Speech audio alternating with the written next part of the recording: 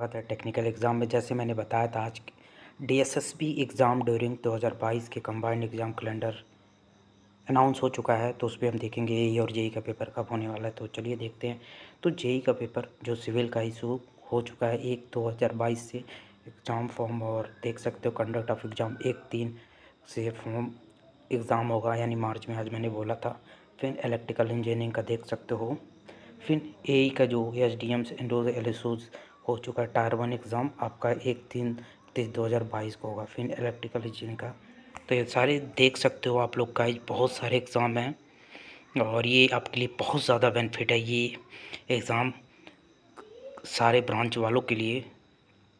तो पूरा डिटेल्स यहाँ पे है। देख सकते हो।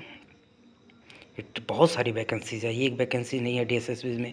बहुत सारी हैं। तो गाइस फॉर्म को ज़रूर फिल करिएगा और सारा डिटेल्स मैं कल बताऊँगा आप लोगों के लिए।